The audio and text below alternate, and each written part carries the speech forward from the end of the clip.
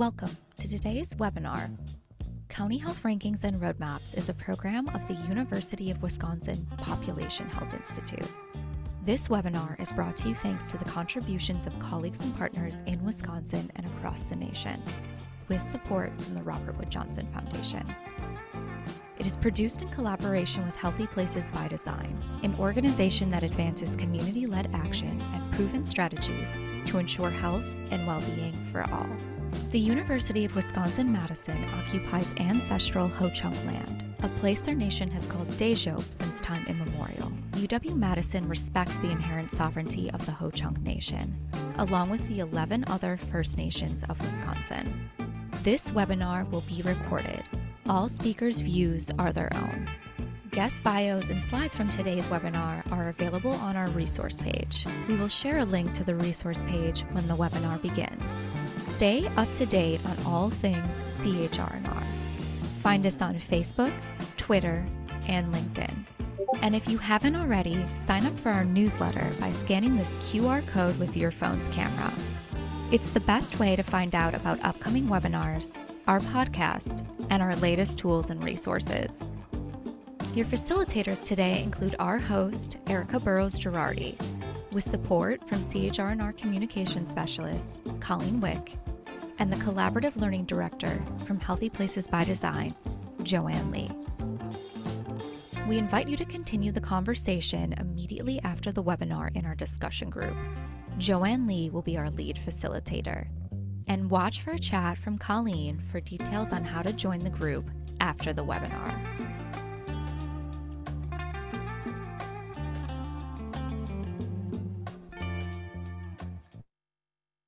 Welcome to innovative partnerships to address mental health. Hello, my name is Erica Burrows Girardi.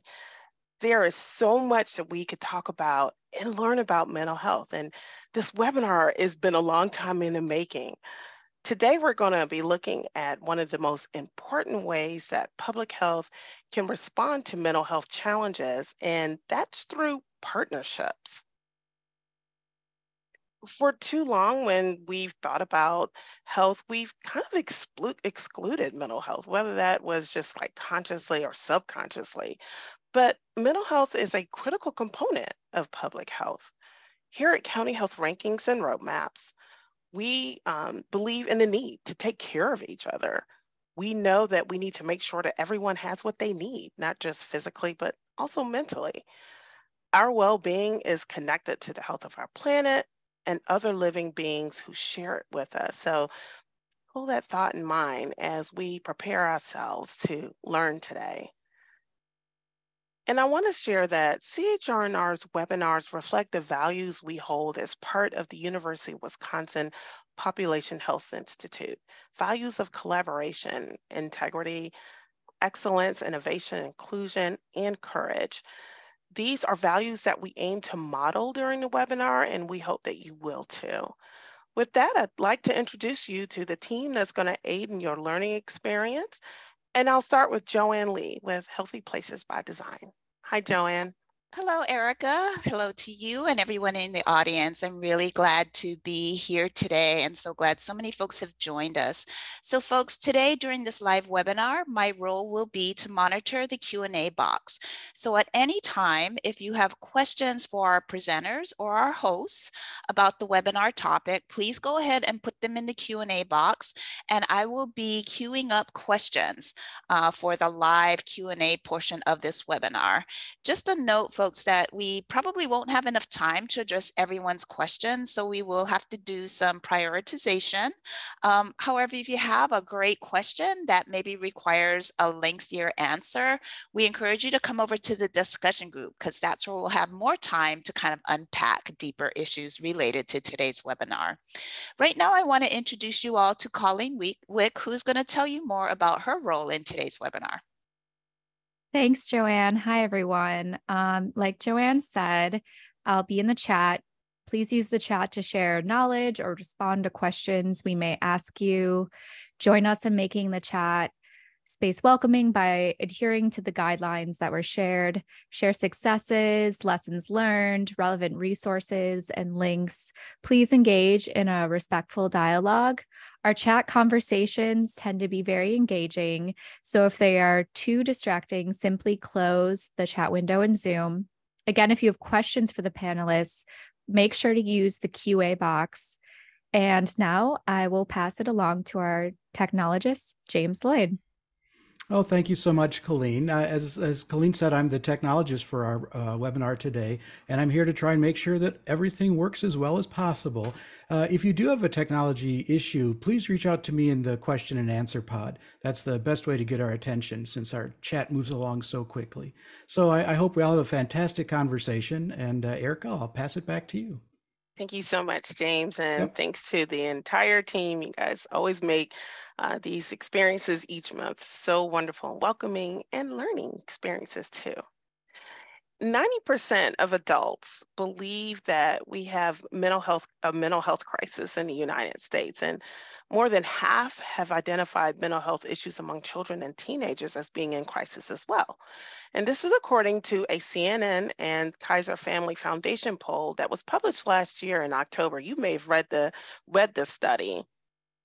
And one of the reasons why 90% of Americans think we're in a crisis is because, in fact, one in five adults have experienced or are currently experiencing some sort of mental illness. That means 20% of us here in this room have experienced or are experiencing some form of mental illness such as depression anxiety substance use disorder or other you know um, conditions or disorders and that's okay. The important thing is there's we can learn more about this so we can all heal. Now, it's no surprise that the, the pandemic worsened mental health. Social isola- isolation exacerbated depression and anxiety as people worried over health concerns or their finances. And we also saw incidences of substance use and suicide reach record highs over the past few years as people struggle to cope with the trauma of the pandemic. So, if you are a public health practitioner, you know the value of partnerships. Remember, we talked about this last month with our webinar with Dr. Sandro Galea. And I absolutely love this quote from Justin Baker. He said, not everyone's a cardiologist, but a lot of people are trained in CPR. You know, we don't have to be experts in mental health to support opportunities for healing.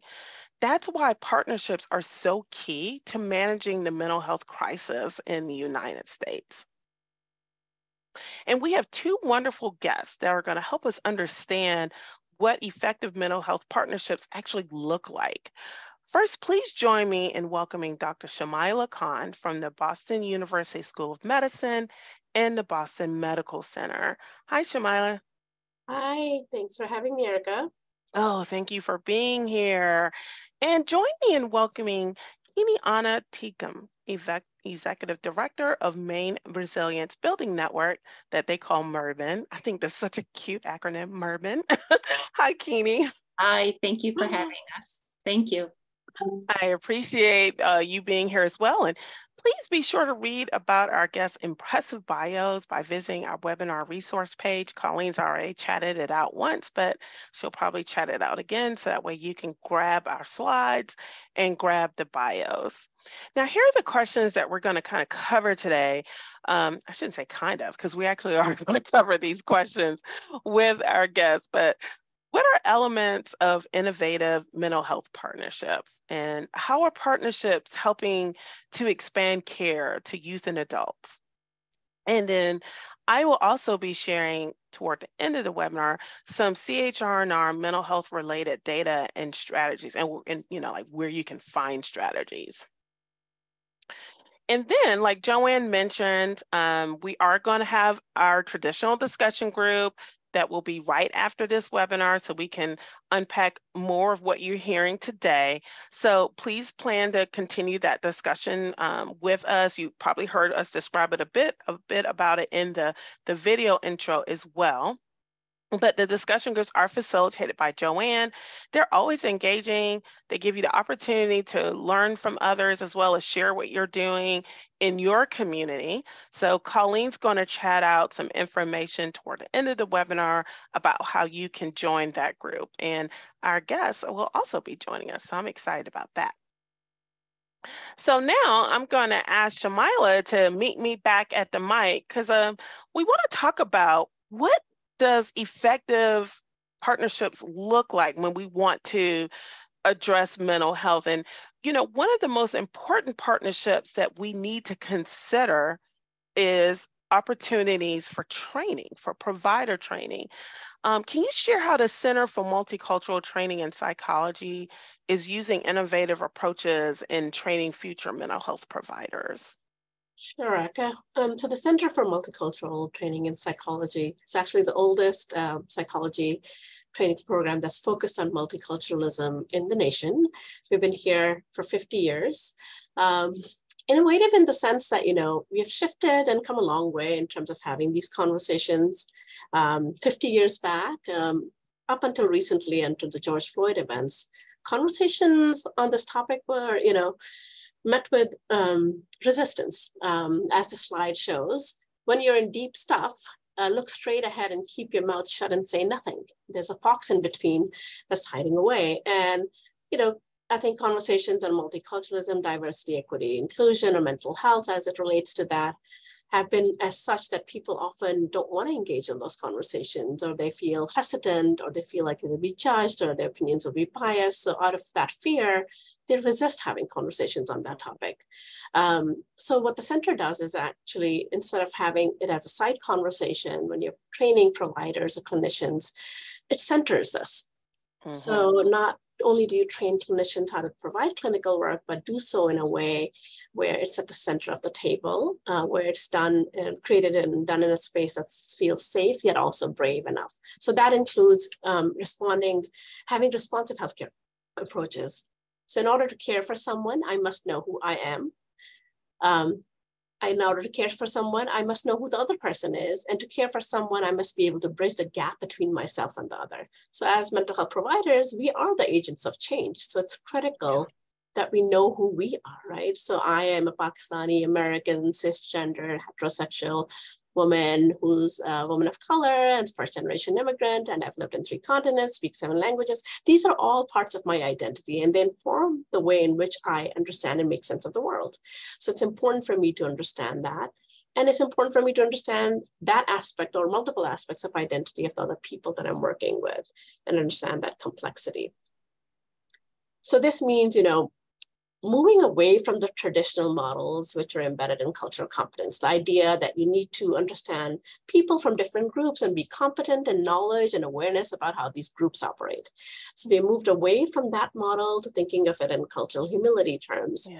And then it moved to cultural responsiveness. The idea is to like look at people and understand them from these complex um, perspectives and incorporate competence and knowledge, but also be have humility in terms of how we make sense of others and have responsiveness. So that means committing to a lifelong process of self-evaluation. So we look at ourselves and what are what we're evaluating, what our biases may be, because we all have them.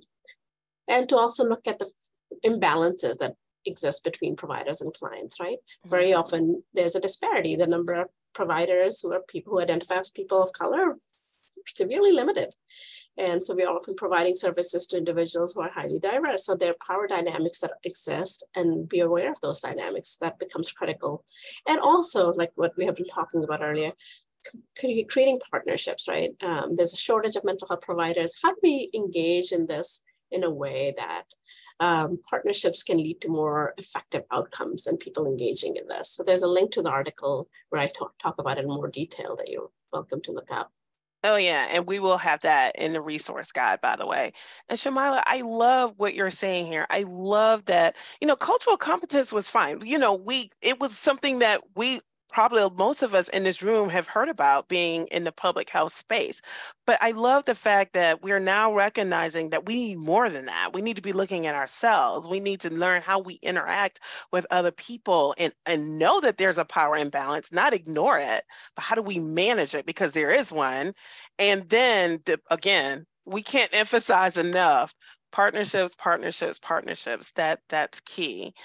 Um, you know, oftentimes we talk about the social and environmental determinants of health, but you know, we're not only talking about physical health, these determinants kind of extend to our mental health as well.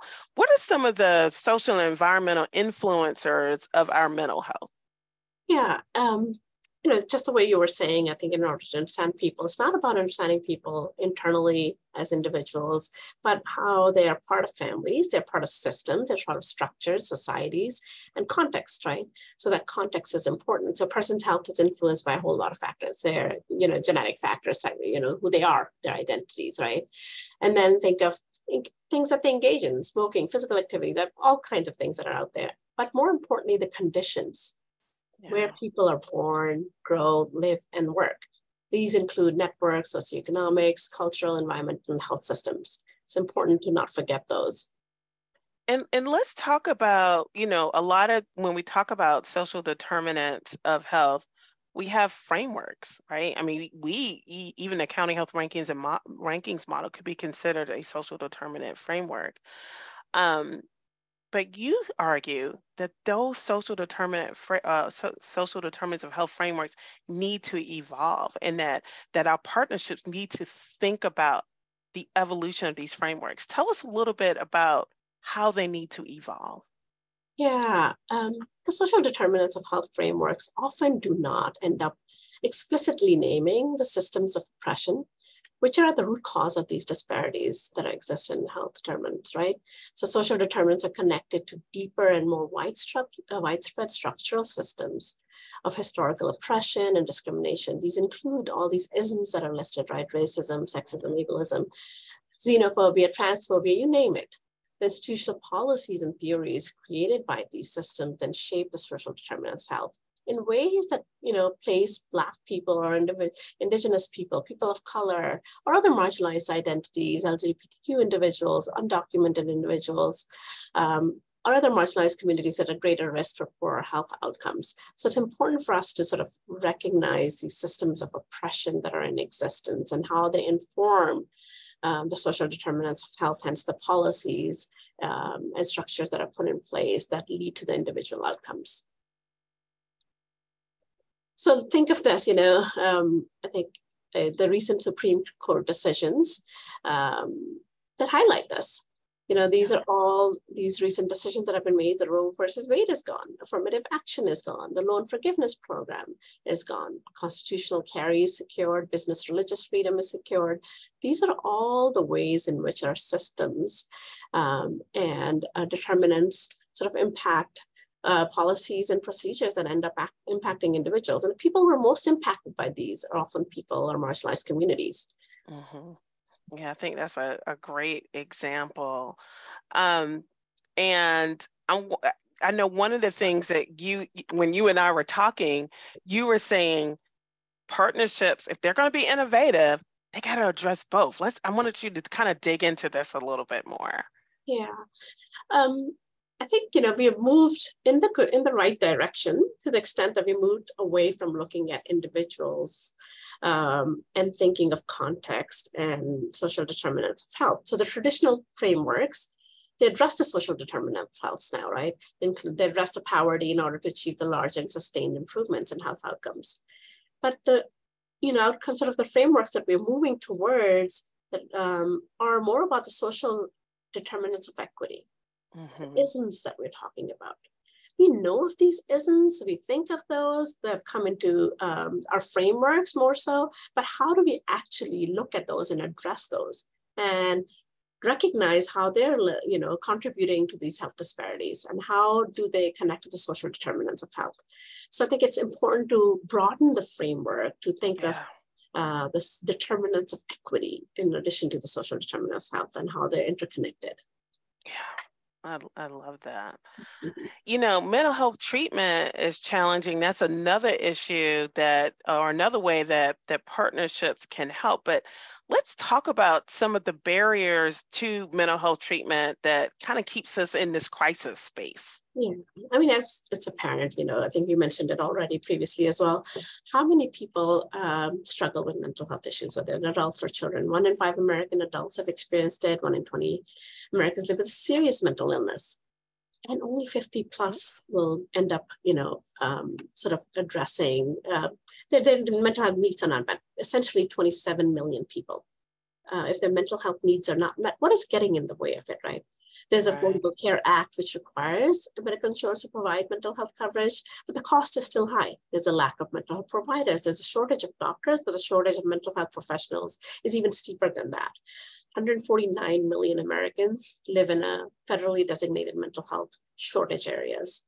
Wow. And those who have the greatest need of mental health treatment haven't been taught the stigmas or the signs of mental health and how to treat, how treatment can help. So there's not enough education about it.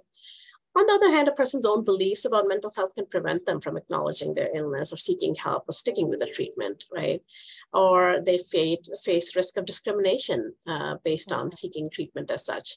Mental health disparities stem from a large lack of diverse representation of mental health fields, language barriers, implicit bias.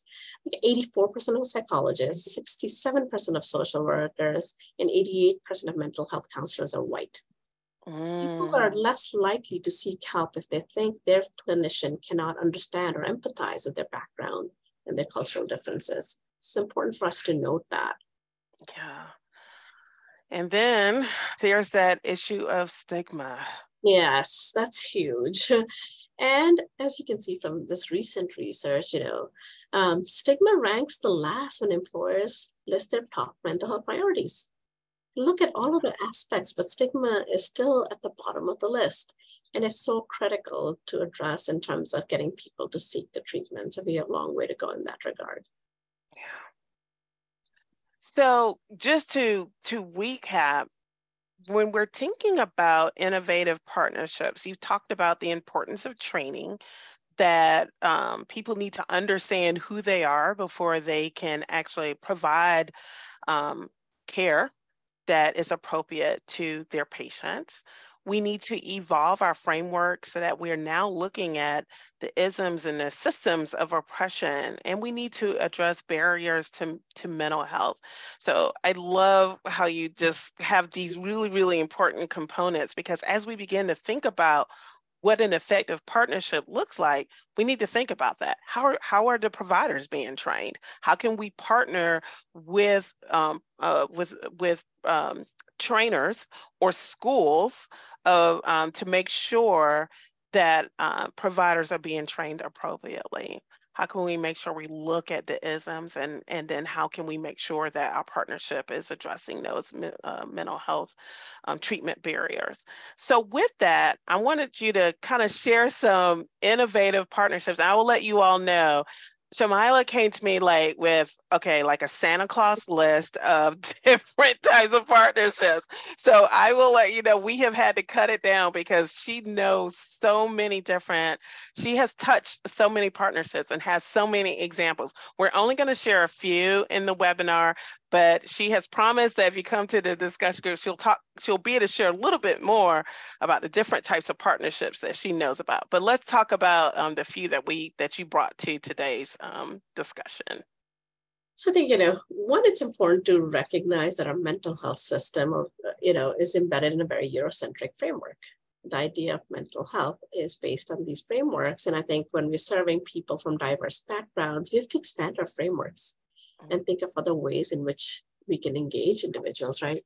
Um, so one of the partnerships that we've had here at the Boston Medical Center is between the BEST team, which is emergency services team, um, and we've created a partnership for behavioral health and racial justice, um, where community institutions, like we're collaborating with the police department, Boston Public Schools, and the court system So our program comes in and provides trainings on implicit bias and anti-racism for enforcement of law enforcement officials, first responders, school safety officers, and get people in the same space in terms of how they're struggling, how do they make sense of mental health, how do they recognize that somebody's struggling with a mental health mm-hmm. issue, and how do we make referrals, how do we collaborate with each other to make for more effective outcomes how do we connect so it's been really amazing to see these individuals from different backgrounds who are not mental health providers learning about mental health and yeah. learning about the system of oppressions and how we may be biased in our ways of engaging with individuals so it's been really um, amazing to work through one of these partnerships. And then there are multiple others, like uh, Erica was mentioning, there are probably more than I could speak to in this time frame. But um, one of the other ones during the COVID has been that many of us as mental health providers were in the front line in the hospitals and were struggling with our own mental health issues, right? It takes a toll and we needed the help. So what we ended up doing was adapting the buddy system from the military, uh, which is the buddy battle system that they have had, where two people collaborate with each other together when they're providing services for someone, you know. So we, for instance, our chaplains collaborated with us as mental health providers, and the two of us would provide services together when there was a loss. If we lost another person to the um, pandemic, we would connect with each other, provide the support for each other and connect services for those families who had lost members in terms of providing chaplaincy services, providing mental health services, other resources. So all of us from different disciplines came together to provide those services. Wow, that is so awesome.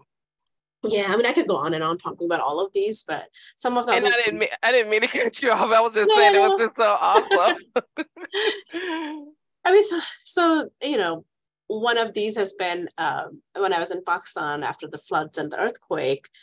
Um, we were working primarily with women who were enduring more abuse and domestic violence uh, support was needed, but these women were often not coming into spaces to seek the mental health services and support. So what we started recognizing was that many often, very often these women go to these beauty parlors and spas, and that's a space where they're all women and they're connecting with each other and talking about different aspects. So we started to infuse ourselves into those systems and started having these conversations. And lo and behold, it became a support group over time, but we would call a support group, but women, more and more women come, started coming and having conversations in the space about that. We recognize the importance of benefits of engaging with and collaborating with those individuals and have resources and materials that were provided in those beauty salons. Similarly, we started one here for barbers the individuals who go into these barbershops and are able to talk about what they're struggling with as they're trying to externally put themselves together internally what they're struggling with comes out in those conversations that they're having while they're sitting at those chairs. So we started collaborating with barbers helping them recognize the, the symptoms one may be struggling with and having materials available at barbershops that they could provide to people who they're connecting with. And it's gone a long way in terms of getting referrals and people to come to seek the services you know, Joanne and I were talking about how this is such a wonderful way to reduce stigma too. That's, that's associated with um, with mental health. What a cool partnership. and you know, um, after the Boston Marathon bombings, lots of people were being targeted, and um, and we recognized that very often the people who were being targeted after that were the Muslim communities, and they were not coming out to seek the mental health support that they needed. So we started collaborating with Islamic centers. So I started, started providing services within that space and getting people to share what their fears may be, what their resistance was. People weren't coming because they're not documented sometimes, and they still needed the support. We've done similar things after the earthquake in Haiti, um, where we collaborated with the churches and other uh, entities as such, where people were gathering as a community to um, to get people to understand and educate them. So there are multiple others of this kind that I could speak to, but I'm gonna. Yeah, yeah. Well, thank you so much for um, just kind of helping us understand like what are those basic components of an effective um, or an innovative, I would say, partnership. And these are awesome examples. I love it. Um, now we're going to circle back to you for questions in a little bit. Um, but right now, I want to invite Kini back to the mic because we're going to talk a little bit more about the work that you are doing um, to build resistance in youth. So, Kini, can you tell us about the Maine Resilience Building Network? I know you guys call it MERBN. Again, I love that acronym. But what is your mission and what is it that you all do? Yeah, thank you. Um, so the Maine Resilience Building Network is a statewide um, nonprofit. We focus on um, supporting and educating people around early adversity, but moving towards the focus on resilience and how do we promote and support that through partnerships and um, programs across the state. And um, our network, as we refer to us, we really are a convener. Um, we bring a cross sector of organizations together. It may be community members, faith groups, um, healthcare, um, social services people, um, our state um, colleagues join us as well for shared learning, learning collaboratives, learning circles. Mm-hmm. Um, and we focus in on these three domains in our work, looking at home, school, and community. And you'll notice here that the larger cog is community because we really believe that the environment where people live, as um, was just so nicely explained to us, really does impact our overall health and well-being. And so how can we better support um, our youth and our families? And I know you had once shared with me that the prevalence of diagnosed anxiety and depression among youth in Maine is alarming. Can you tell us a little bit about that? Well, like the rest of the country, we are facing um, a mental health crisis in Maine, and we have seen an increases an increase in diseases of despair, um, an increase in substance misuse. We have the opioid crisis as an example, and Maine has a high rate of anxiety in children um, diagnosed, along with other New England states. And we certainly know that during the pandemic, um, social, social isolation um, has really contributed to this and impacts people living in very rural parts of Maine um, regarding access to services, school-based health centers as an example, because of remote learning.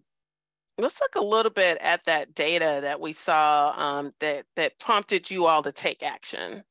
Yeah, thank you. So we have a data set, the Maine Integrated Youth Health Survey. It's um, administered every two years in middle schools and high school, and this is the data I'm sharing today. People, um, schools and communities opt in to participate. And you can see here that over time, our mental health um, is worsening for our young people looking at high school data today. Um, again, we know that, and this was in 2021, so it's really not even young people who have lived through the full pandemic. Mm-hmm. We also have in this data set a question that we ask middle school and high school students, do you feel like you matter in the community to people in the community where you live? And again, this is a, um, a decrease from 2019. Um, and again, pre pandemic completely, uh, but only 52% of our high school students felt like they mattered to the people um, in their communities, and only 55% of middle school students. And we know that this is a general um, set of data that we're looking at right now. And we know from the data in Maine that there are other um, groups of youth, LGQ um, as an example, Black um, youth, um, people of color, our Native population report lower scores of mattering. Yeah, that that breaks my heart to to hear those those statistics, and um, we're going to come back to talking about mattering in just a second. But um, right now, I, I kind of want to shift the the conversation to um, adverse childhood experiences because we need to kind of understand that first, then to talk about what you all are doing in the resilience realm. So I know many of us have heard about it, but can you just give us a real quick recap of what we mean when we say ACEs? Yeah, thank you. So, adverse childhood experiences is a, um, a study that was done that looked at um, three types of um, adversity in one's life. It looked at abuse, neglect, and household dysfunction were the three overall groups. And this was a score of one to 10. And this was a, test or a survey that was administered before um, and had people look about their experiences in their life before the age of 18. And the study goes on to explain and show the correlation between um, a decrease in um, both mental health well-being and um, physical health, our overall well-being. So it's a really a landmark study, an important study to know and to understand.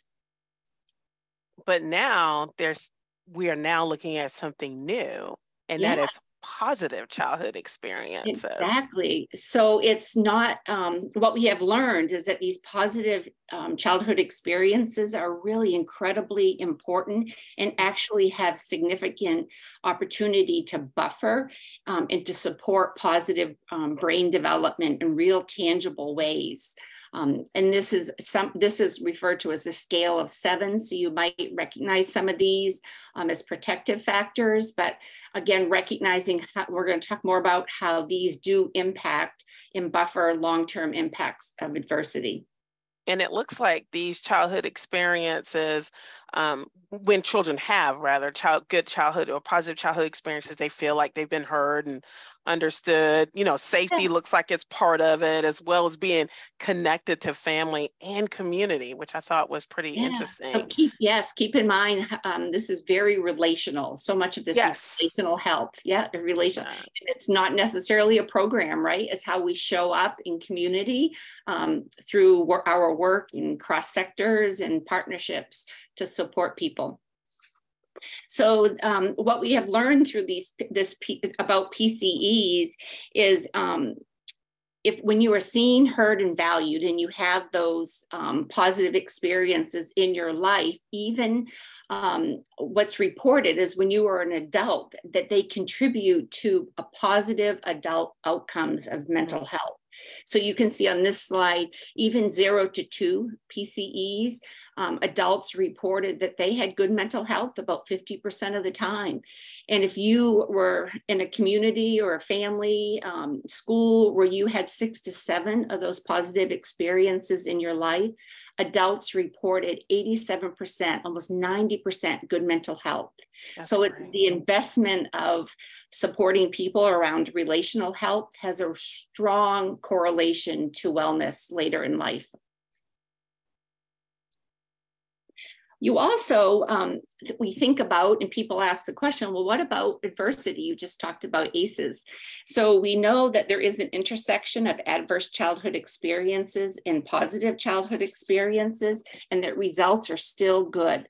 So even when um, people are faced with adversity in their life in childhood, um, with four or more ACEs, as this slide shows us, um, but they, they can still experience good mental health when they had when they have high levels of PCEs in their life.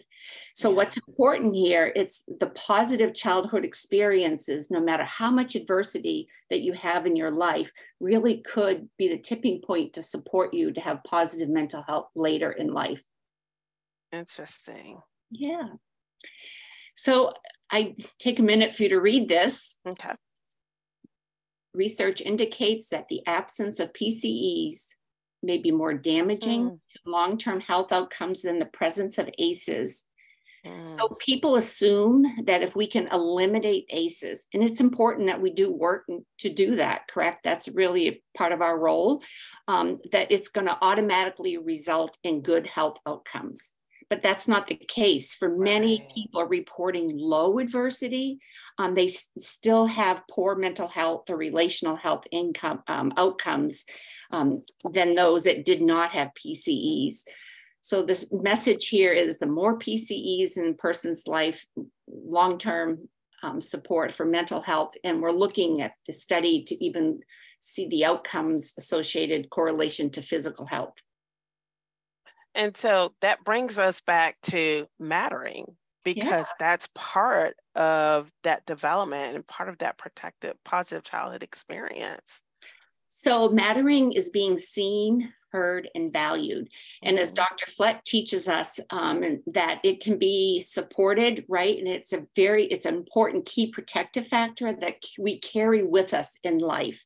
It's different than belonging we can be part of a team, we can be in a theater group, right, at the moment, but that isn't something we take with us in life. So, mattering is if you're absent, you're missed, you're noticed, right?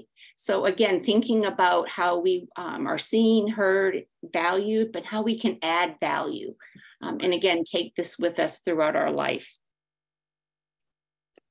So the work in Maine, and I shared that data set with you earlier, and you saw the low scores in community of mm-hmm. mattering.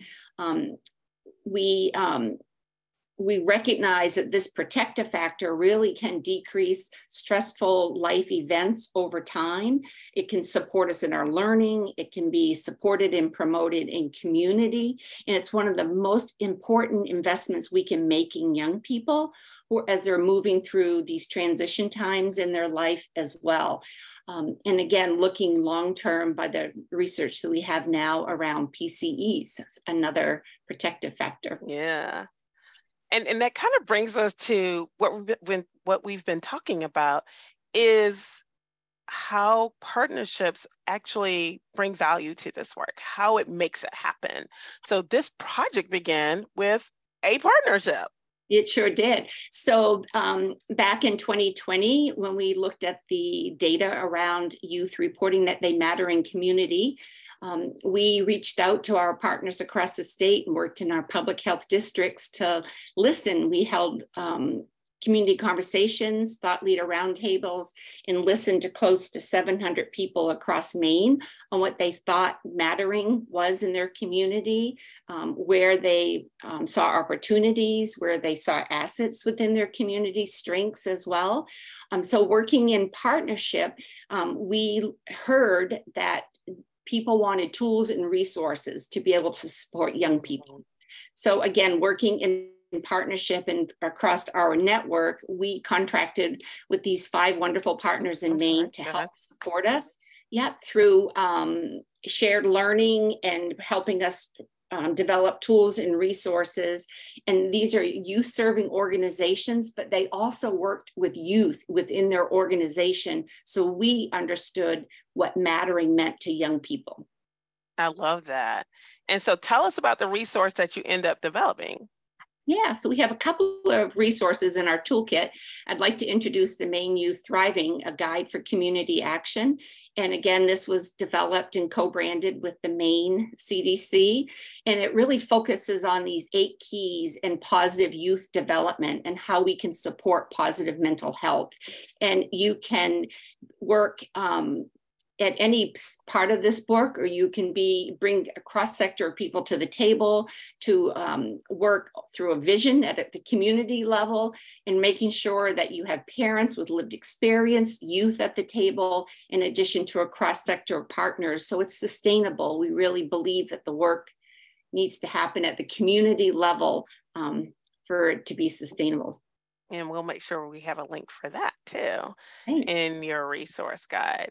Now, Kini, uh, Murban is a network mm-hmm. and um, there's a role for so many different groups to play in this. Tell us about the sectors that are involved in the work and why why partnerships are just so valuable to what you do.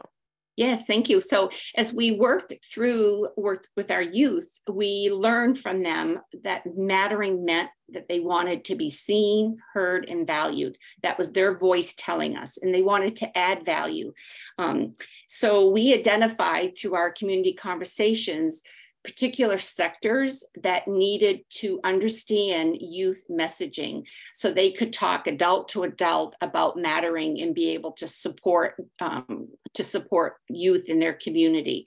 So we identified these six sectors um, and we um, created communication sheets based on what the youth told us and um, as an example, business bubbled up as an, um, a sector that youth wanted to feel more um, safe and welcomed in. They mm-hmm. wanted to be able to look for career, um, have jobs, um, maybe know that it's safe and welcome to be there.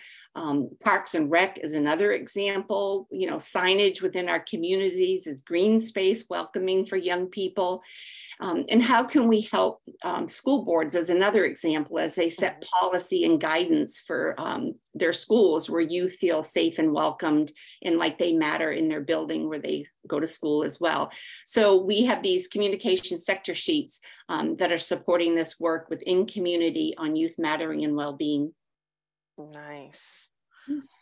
And um, again, tell us a little bit about the partners that help sustain this work. Yeah, so we have many partners helping us across the state. We're at, different levels um, doing this work statewide. Um, we have contracted with a number of partners, and I'm highlighting a couple of a few here with you just to speak to the diversity of partners and how it comes about. So it may be just a rec department that's concerned about the health and well-being of their young people. Um, so um, a, coastal town, a fishing town, you know, is working to support young people um, in their mental health.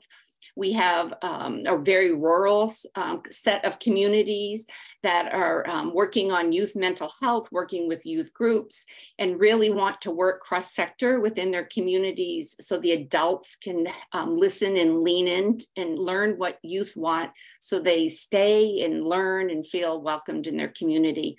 Um, another organization um, is more urban. Um, again, that are, we've been built, working with them to develop a vision statement. So they want to start on the Youth Thriving Guide and move through it, like set the table and bring sectors and family and youth to the table um, to really shift the culture in their community. Um, and, Interesting. Yeah. Oh, I'm sorry. Did you did you no, have something? No, oh, that's okay. fine. Thank you. I apologize.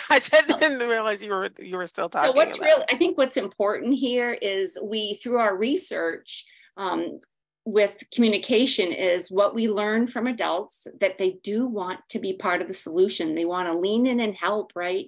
And they needed tools and resources, and um, they want, and they really do want to engage young people in their community, but they need some help doing it. So we're looking how do we model it um, within communities across the state.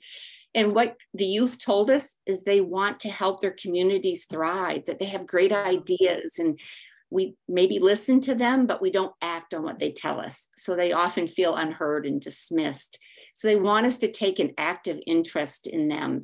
And they do have issues that are really important to them. So we're fortunate um, through this research project to be able to hear not only from our young people, but what adults needed.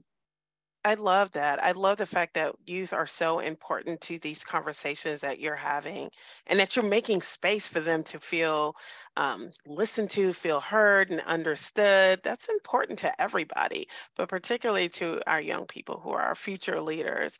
Now, before we leave, I, I want to remind everyone about that quote that I said earlier. Not everyone is a cardiologist, but a lot of people are trained in CPR, including me. Mm-hmm. I'm trained in CPR.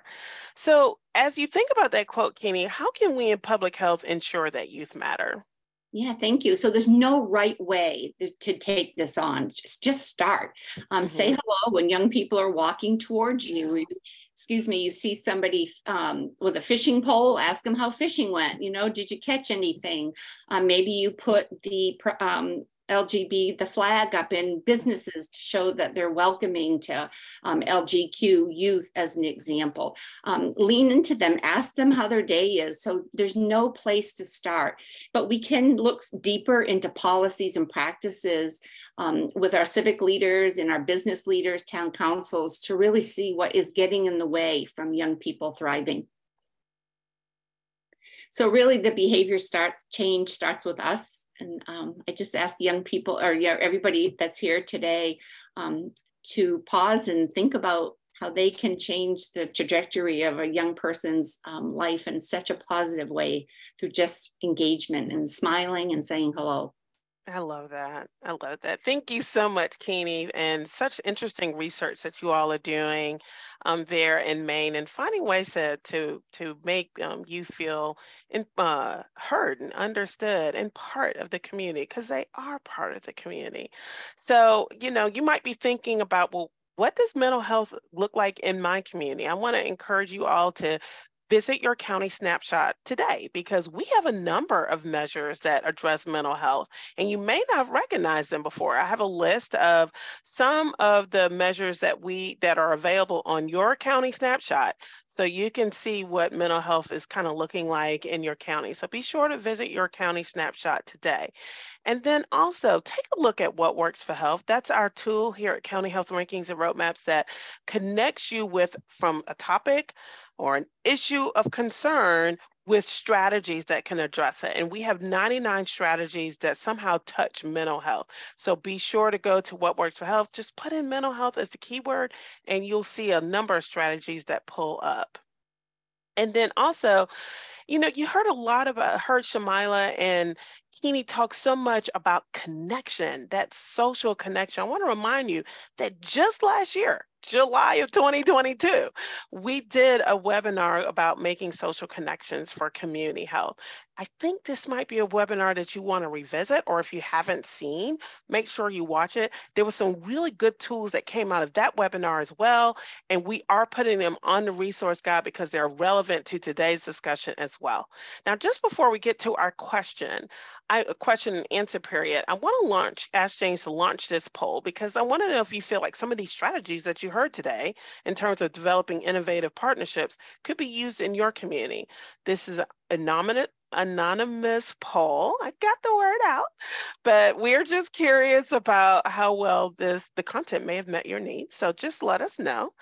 And um, James, I'm going to ask that you uh, close that poll in five, four, three, two, one. Thank you so much for responding to that poll.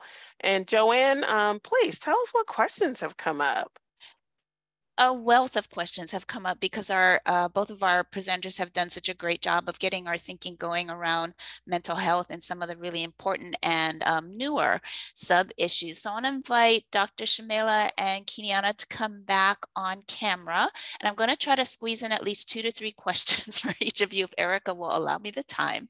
And I'm going to start with Dr. Shamaila. So Tessa and others really picked up on how you um, really emphasize the the influence of structures um, and systems on what's happening around mental health in our country. And so sort of related to the isms, uh, Tessa wanted to know whether you can comment about the challenges of healthism um, that impact engagement with mental health related services. So health is um, defined as this idea that a person's health is really their individual responsibility. Yeah, I think, you know, um, there's the ways of thinking about about ourselves that are embedded in individualistic ways of thinking and the collective ways of thinking, but we are part of systems at large, right? We are part of family systems, we are part of other systems at large, and the context matters. So I think, you know, uh, when we think of health isms and how we make sense of our health, it is partly how we are thinking of it, but how we're thinking of it is embedded in how we're connected to the rest of the structures and the systems and society and people. So naturally we're embedded in that, but we end up holding that um, that regard like that privilege of sort of determining how we want to address it. But the systems may not uh, respond to it in the way that we're thinking of it, right? Um, I'm just thinking of, I'm trying to think of an example. For instance, when we are, um, when we as clinicians are looking at a patient who comes in for treatment and they stop showing up, right? We would think, oh, you know, clinically what we're taught, oh, they're treatment resistant. Mm. What does mm. that mean, treatment resistant? Maybe they're not coming in for treatment because there's stigma about seeking this treatment. Maybe they're not coming in for treatment because the cost of coming to treatment is really high. Maybe they're not coming into treatment because they don't have transportation to come into that. Mm-hmm. Um, so there are all these other aspects that we don't think of. So how do we make sense of that? Um, is really broader than how we may individually be thinking of it. Um, right. Right, thank you so much. So somewhat related to this, kind of going more towards the what can we do, knowing that there are these systems that we're operating, you know, and that's part of our context and really excited because we have a public health student um, joining us and probably many more, but, you know, that person is really thinking about um, how addressing mental health contributes to prevention and control of other public health issues like chronic diseases, infectious diseases, things like that. And then Daniel wanted to build on that question and, and ask, so what can existing public health initiatives support? How can we better support and integrate mental health care services? Um, just, I know you gave some examples with law enforcement, but I guess specifically around public health.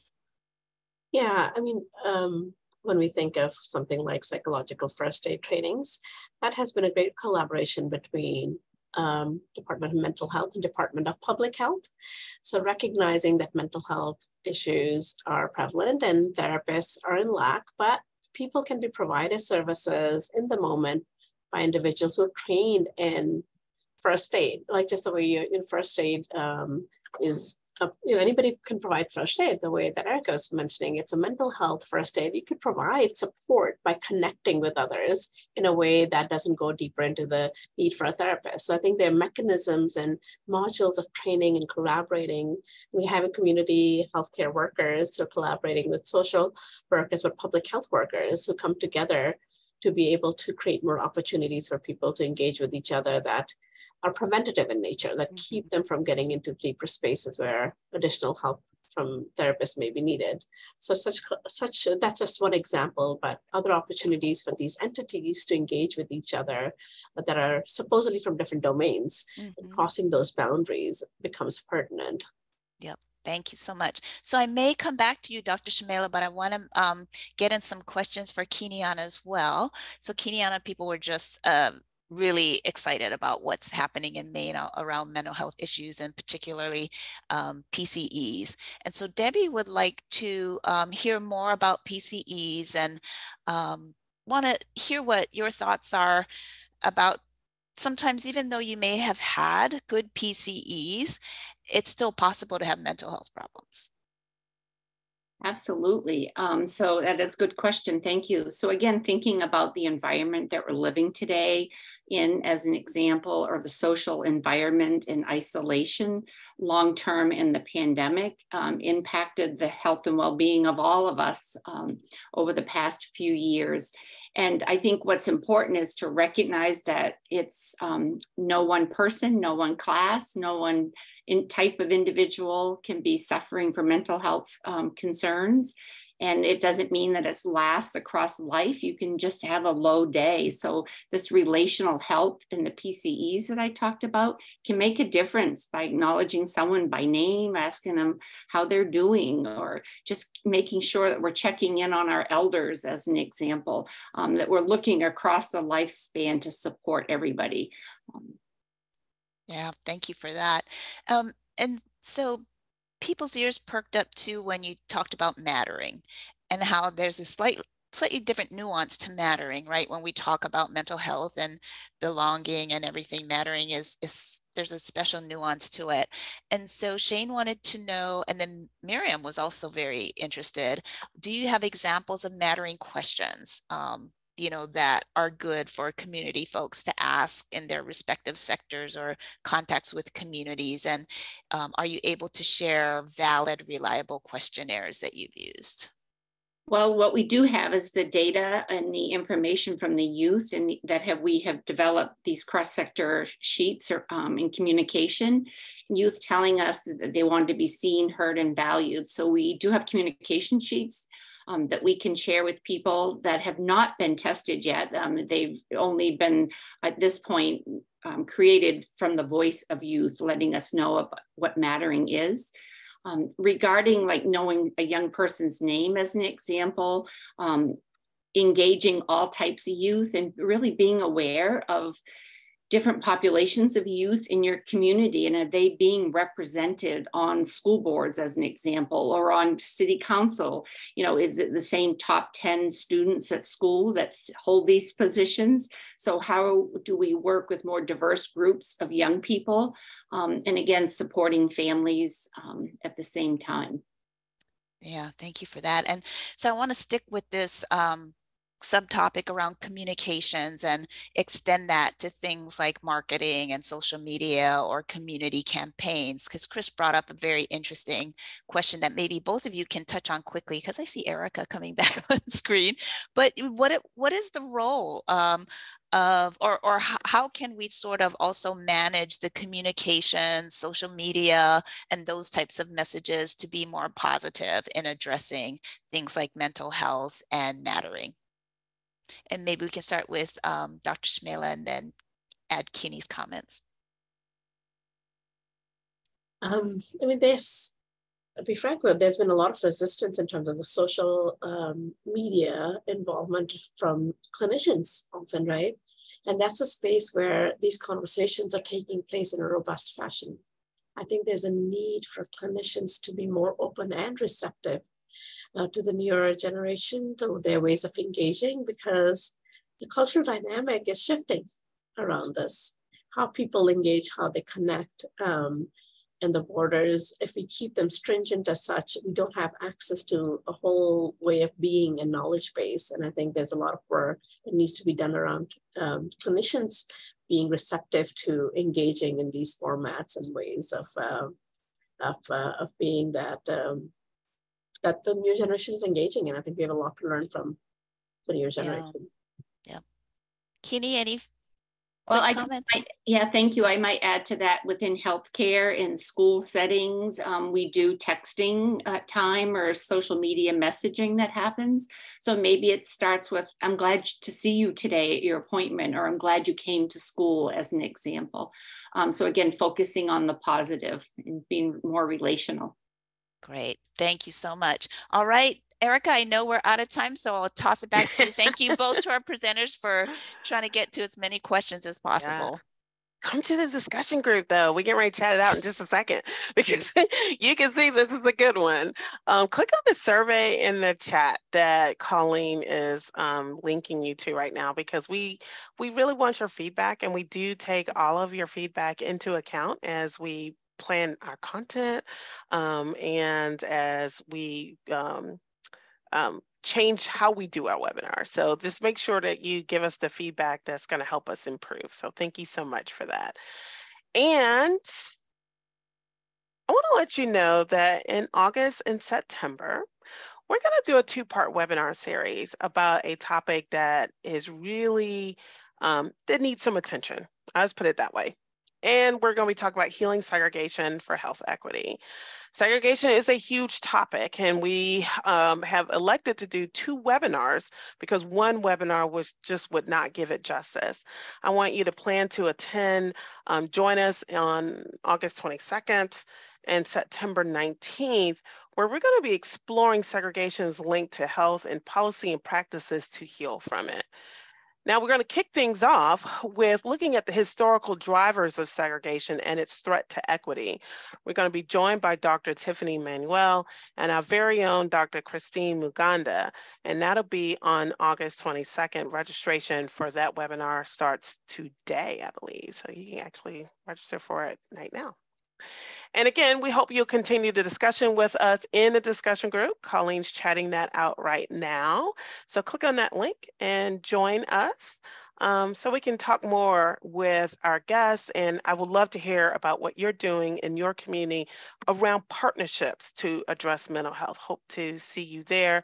Stay connected with us through social media and subscribing to our newsletter because that is the best way to find out about our upcoming webinars and um, and what other tools that we may have to offer, including our podcast and new things with what works for health. So I want to uh, thank Dr. Shamaila Khan for joining us and Kini-Ana uh, Tinkham, and thank you for sharing um, your wisdom with us. And thank you to all of you in the audience who do work very hard, tirelessly every day to build equity in your communities. And I will see you next month.